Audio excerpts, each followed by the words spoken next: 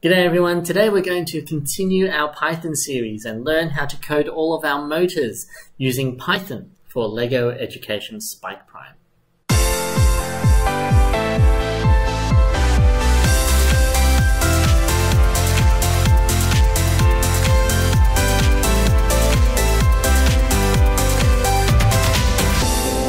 If you haven't already, then please make sure you check out the previous lesson videos.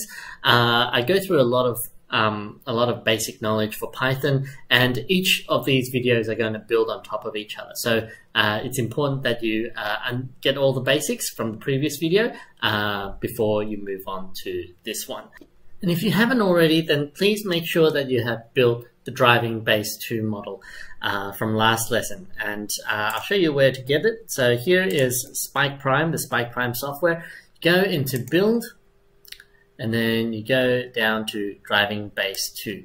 So last lesson I said to build everything um, uh, that was attached to the robot. And this time, if you haven't built the uh, other accessories like this, um, the, this freestanding uh, obstacle and also the colored blocks, then uh, build them as well. They are at the end of the tools and accessories page. So go all the way to the end here and then just build the, um, the solid block and also this uh, standing um, obstacle.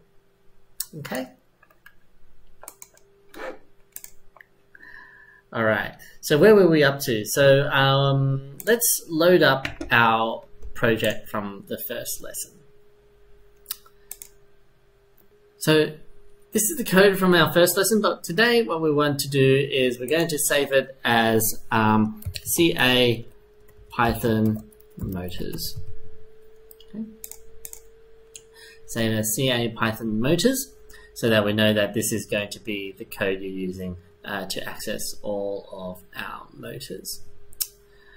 So let's do a review of what we did before. So we learned how to use comments. So comments are these lines of code that have a hash symbol in front of it, and these lines of code get ignored by Python. Then we learned how to import um, all of the Python classes. Uh, these are important because uh, without these, then uh, Python can't actually interface with Python. And then we learned how to create different objects. So we created a driving base object, which was based on the, uh, the Spike Prime hub. Then we created a movement motor pair. And then we uh, defined a distance sensor. And then finally, what we did is uh, for our uh, the execution of the code, we uh, get our driving base to light up with a smiley face. And then we start our motors until our distance sensor detects something closer than 15 centimeters, and then the motors will stop. Okay? Pretty simple stuff. What we're going to try and do today is we're going to try and understand a little bit more about uh, the different functionalities of the motors. So you may have already uh, used all the different motor blocks in the Scratch 3 software. Uh, we're going to do uh, some translations of those in Python, and we're also going to do some fun exercises and see if we can do the uh, driving base challenge uh, with Python instead of using Scratch. So here is our um, uh, our obstacles. What we're going to try and do is we're going to try and make it so that our robot uh, moves forward and detects this uh, panel. And then when it reaches a certain um, distance away from the panel, we want to lift the arm up, move forward, capture the block, and then move back. Okay, uh, so in Scratch, this would uh, hopefully be pretty straightforward, but because we're doing it in Python, it might be a little bit, bit of getting used to. Okay. All right, so let's see what we need to do. So first thing we need to do is we need to um, define our arm. So here we're going to go down, we're going to call it lifting arm equals, and then we're going to call it motor. Instead of motor pair, this is just a single motor. So we just go motor E. lifting arm equals motor E. And that's how we uh, tell Python that there is a motor at E. And this is not a movement motor pair. This is just a single motor. So uh, we we don't have things like tank moves and steering uh, for this. This is just a single motor. Then down here, um, what we want to do is we want to set the speed of our uh, of our robot for the first time because uh, last time we were all using uh, default speeds, uh, but this time let's set the default speed so that we uh, we can move more methodically. Uh, let's get rid of this line. we can call it go movement motors dot set default speed. Let's make it 20. This way, um, uh, the slower you move, the more chance you give the robot to detect things properly. Because if you move too quickly, sometimes it can um, uh, it can uh, make it overshoot uh, and not not detect um, uh, obstacles. So let's uh, keep it really nice and slow. Movement mode is start. Yep. So the the the robot's going to start moving forward. Then it's going to wait for um, the object to be closer than 15 centimeters before stopping. Um, 15 centimeters. Let's make it 16. All right. Before we want to um, uh, move the, the robot though, we want to lower the lifting arm. And the reason is because um, there is a little bit of a, a, a design flaw on this robot. So you can see, you can see on this robot, when I lift the lifting arm by uh, like manually moving the thing, moving the, um, the arm up, um, you can see that it actually covers um, uh, part of the sensor and uh, that's no good for us. Uh, we want to make sure that the sensor is um, is shining forward uh, uninterrupted. So uh, what you'd want to do is lower the lifting arm before we start moving forward, so that we get a clear view uh, ahead. So, but we'll we'll we'll start with the robot arm up just to make sure that we're testing uh, the code and it's working properly.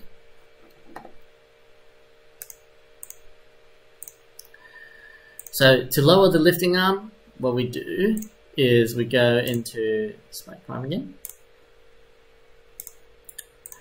After we set the default speed, before we move, we're going to go uh, lifting arm dot run for seconds. Going to run for one second at a speed of negative 20.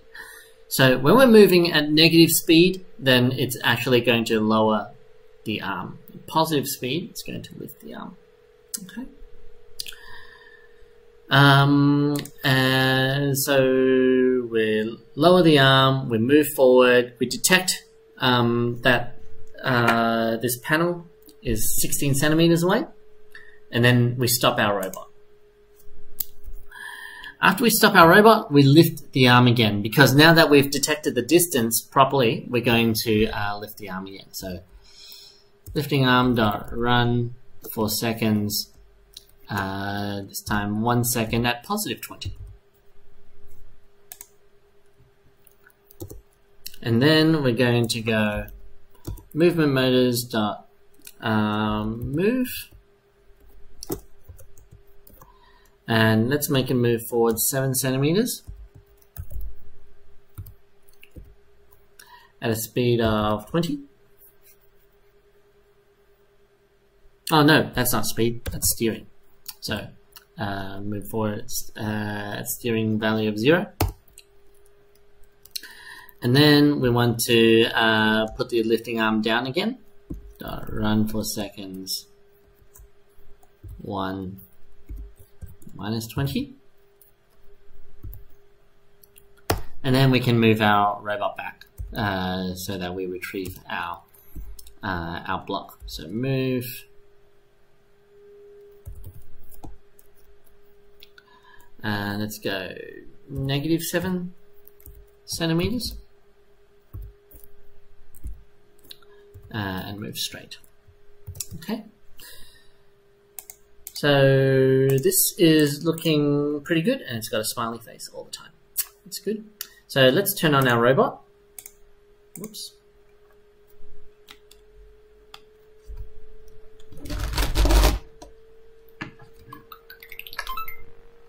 Turn on our robot.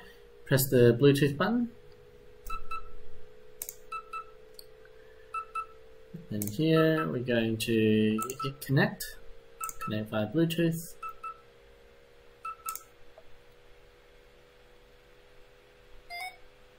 Okay, let's uh, let's test out our code.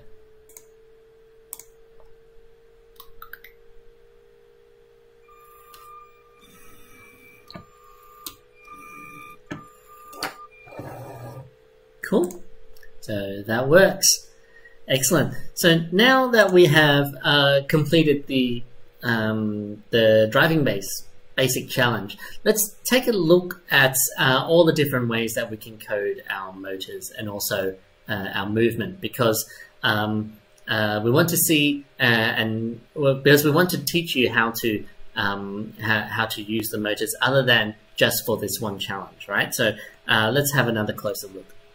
So let's start off with um, uh, commenting out the work that we have so far. So um, here on our executable code, I can go through and just put a hash symbol in front of every line, but that's going to take ages, right? Uh, there's like 10 lines here. So um, what I can do instead is something called a block comment in Python. And the block comment goes something like this. You go three double quotation marks, three double quotation marks, and that's it. So other than moving um, based on seconds, we can also move based on rotation. So we go, um,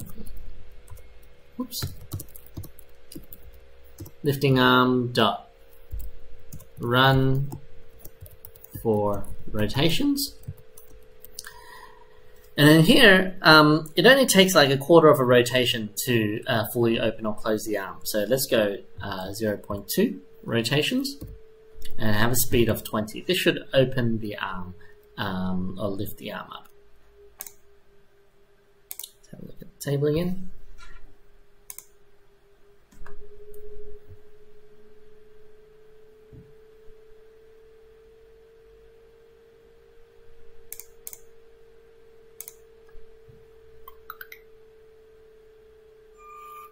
There we go.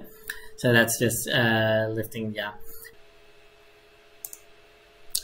So like I said, um, uh, here we have uh, moved the arm based on rotation. So move motor with rotations. And then what we're doing is we're commenting it out, but make sure you type it all out yourself as well. Uh, that way you can build some muscle memory uh, for typing in Python. Uh, we can also move motor with degrees.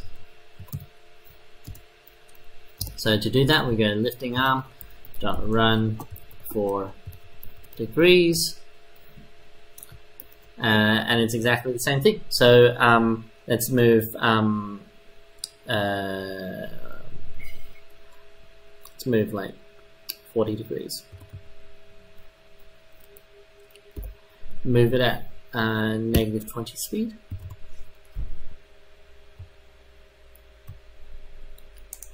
Have a look.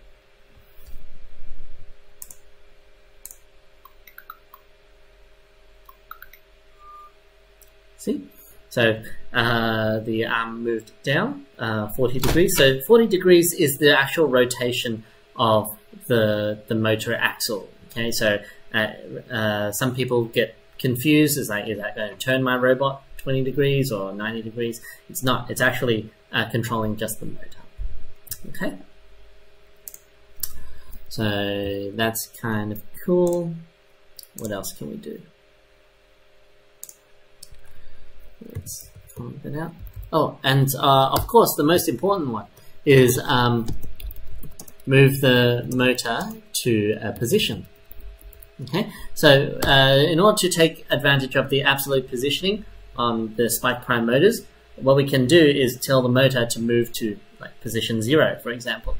So um, uh, in order to do that, we go lifting arm dot run to position and then for um, moving to a, a motor position uh, we need to give it three arguments. The first one is the position so let's say zero degrees. Second one is a, um, a string and that is shortest space path. That is the default and then final one is the speed so um, uh, it is, let's say, 20. Uh, I'm actually not sure if that's going to make our uh, uh, uh, click, but uh, that should be okay anyway. So you can also, you can substitute shortest path with clockwise or counterclockwise. Okay. So let's see this um, move to position zero.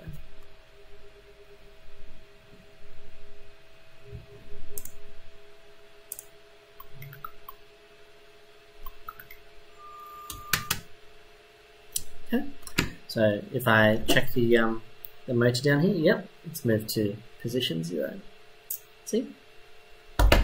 Very neat. And what about the uh, movement uh, movement motors? So we've learned how to use the, the move steer block and also just starting and stopping um, uh, the motor. But how about the move uh, with tank move? So we can do that as well.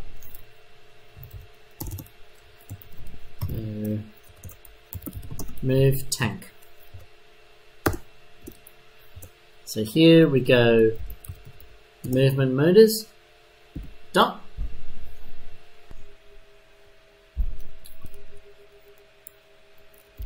move tank. And then it's exactly the same as what we had before. So let's say I want to move uh, 20 centimeters. So 20 comma centimeters. But instead of having a steer value we go give it two values, the speed of the left motor and the speed of your right motor. So uh, if we want to move towards the right, then the left motor needs to move quicker, so 50 and say 30. Okay, so let's have a look.